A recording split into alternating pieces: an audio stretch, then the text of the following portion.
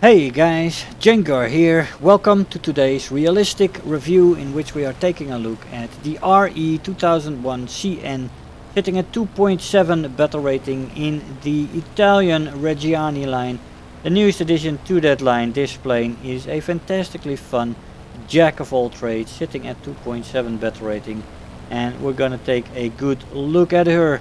But let me first remind you that I have a Patreon account up since not too long and if you want to support me with a donation you can find the link in the description below. So I definitely appreciate if you do that. And let's continue with the review shall we? The maximum speed in this plane at sea level without WEP is 225 kilometers an hour. Without WEP and 435 with WEP at 4500 meters this is 407 without WEP and 415 with WEP. And finally at 6500 meters they'll go up to 372 without WEP and 382 with WEP. Now the WEP is not spectacular.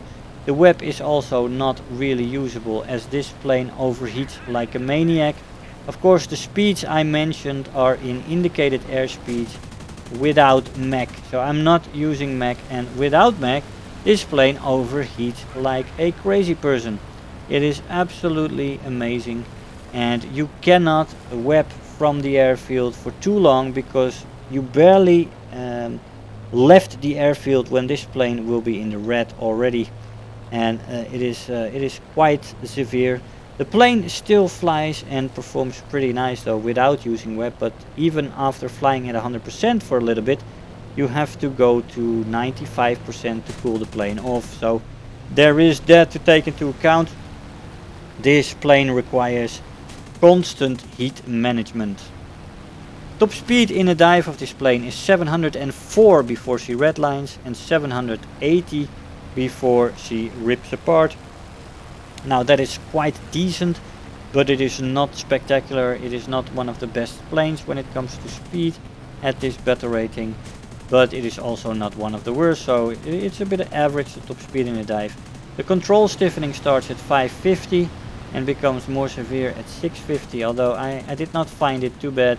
The roll rate on this plane is above average and it only gets the average in, in the high end of the dive, so the plane doesn't lose that much um, responsiveness at the higher speeds and that is great. The control and the handling in a dive is actually quite nice and uh, that makes this plane quite nice because you can still um, you know get guns on on a target when you uh, when you go into that dive. The stall speed is also quite nice with 130. Would actually call that good compared to many of the other planes at this battle rating. Uh, the firepower is great. This plane has two 20mm MG151 cannons with 60 rounds per gun. I used air targets for those. Uh, it is supported by two 12.7mm Breda Safat machine guns with 350 rounds per gun. Also used air targets there. I used a 600 meter convergence and if you want to load a bomb on this thing it can actually carry a 250 kilogram bomb which is uh, the only loadout that it has, but it has a loadout if you would want it to.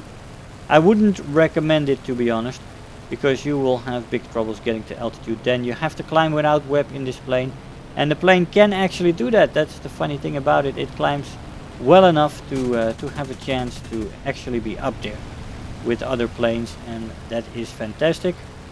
But um, the WEP and the overheating in the plane is uh, takes quite a bit of your attention. And uh, from one um, dogfight using WEP here and there you definitely uh, are capable of cooking the engine into the red and even into the bleeping numbers. So be careful with the overheating in this plane. The overall firepower is great and the ammo load is below average. Almost bad I would say if you look at those cannon rounds. Only 60 for the MG 151s Acceleration in a plane in a straight line is decent and in the dive it's good.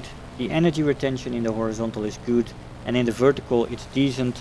When you are rolling though in the vertical it loses a lot of energy and it doesn't get very high at all. So yeah it bleeds energy while you roll in a climb so be careful there. don't do that and try to keep her uh, unmoving when you zoom up.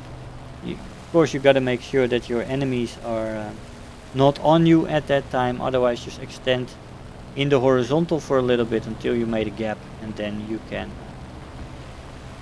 start climbing again. The climb rate in the plane is good as I said. Turn time is good, very good with flaps. Flaps really make a difference and the flaps only rip off at 500 kilometers an hour which is quite good so only in a dive do you rip off those flaps. They are quite usable and uh, pretty sturdy. The roll rate in the plane as I said above average and the overall maneuverability is decent to good. Decent without flaps and good with flaps. The overheating in the plane is very bad. It is absolutely very bad.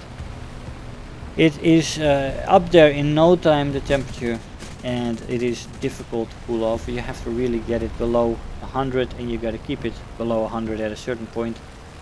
So you don't get all the performance this plane can have with 100% once you get into the overheating phase. The durability is decent, it can take a hit or two, which is uh, which is quite nice. So a good armament on the plane, it is a 2.7 battle rating and MG 151s are not normal there. So you have very good cannons uh, at the battle rating it's at. But of course it is only 60 rounds ammo and that's not a lot. Of course it is uh, added to with uh, two Breda Safat 12.7 millimeters, which are good machine guns in theory, but uh, the Italian machine guns are a bit touch and go. They don't always do the best damage. That's zero, by the way. Got away. And he crashed, so I didn't get that kill. Well, I critted him, I hit him, and I put him on fire. But uh, no cigar for me on that zero, which was quite disappointing. As um, as I see that a lot these days. That's, that's something I want to talk about in a separate video. But uh, the assists and uh, what you have to do to get an assist are quite annoying. They took away the assist when you uh, make hits. And sometimes when you have smaller calibers on a plane, you get a lot of hits.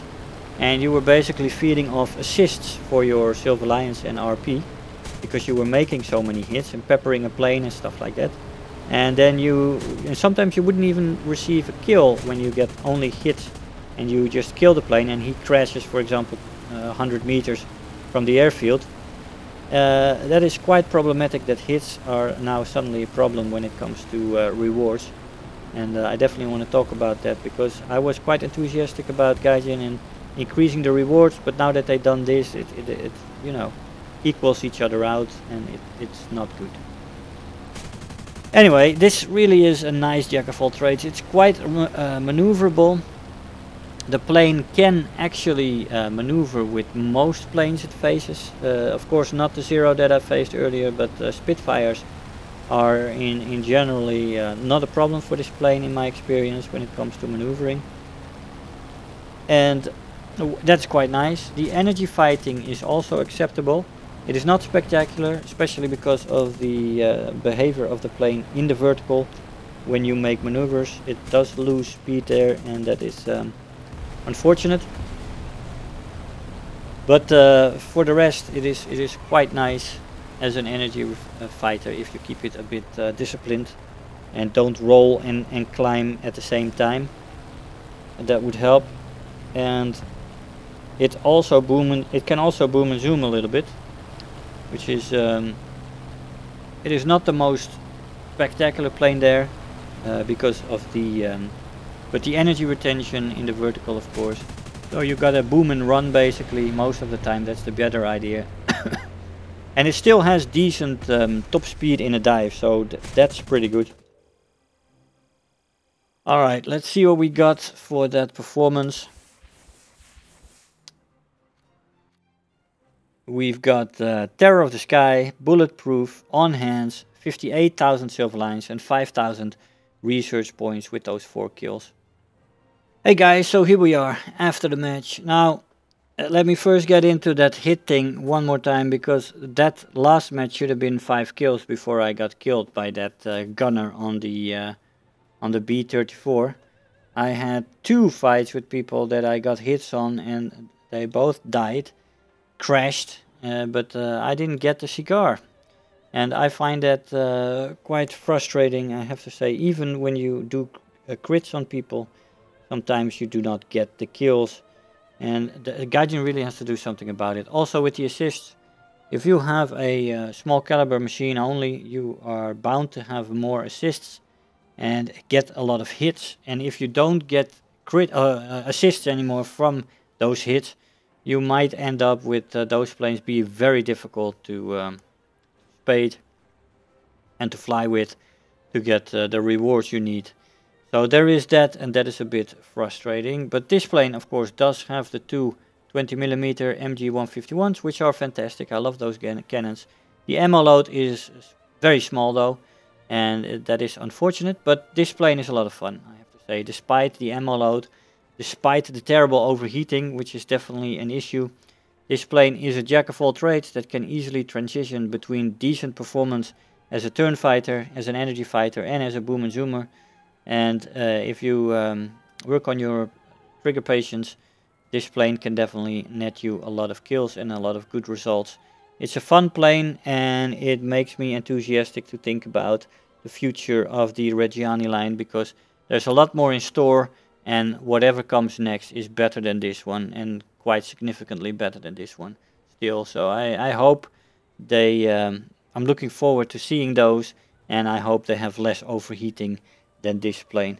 Guys I hope you enjoyed the video. I want to thank you all for watching and I'll see you guys next time. Bye bye if you're new here make sure to hit the subscribe button become part of this community. If you are already a subscriber don't forget to like the video, do leave me a comment, and if you really feel like helping out today, make sure to share the video with your friends and let them know about the channel.